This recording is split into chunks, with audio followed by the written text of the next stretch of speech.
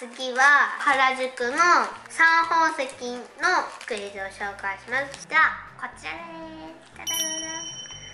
じゃあ開けていきたいと思います。じゃあこれから開けます。あこれは220円です。イエーイ。あ気持ちいいこれ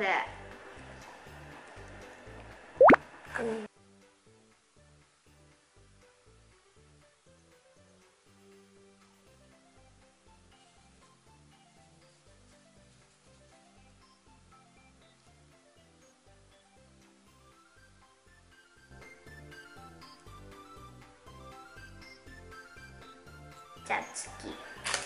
これ。開けますおい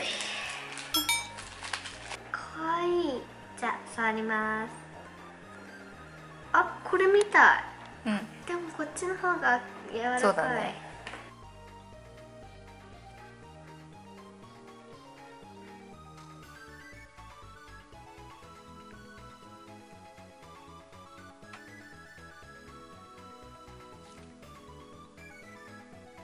じゃあ次はこの青いソースがかかったやつにいきます。290円です。これはうちが欲しかっ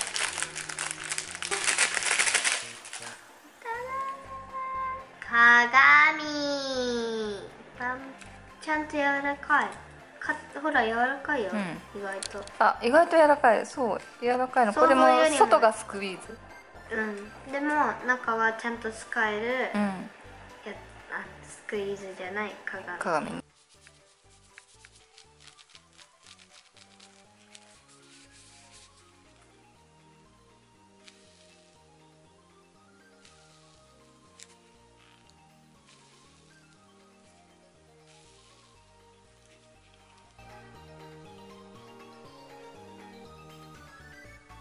あら可愛いのがいっぱい種類がありすぎたので2つ買いました。だから次も開けます。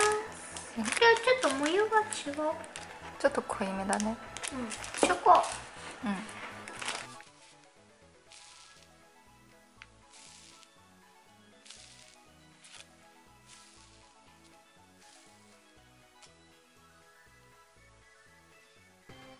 これはキーホルダーなのでランドセルに1個つけたいね。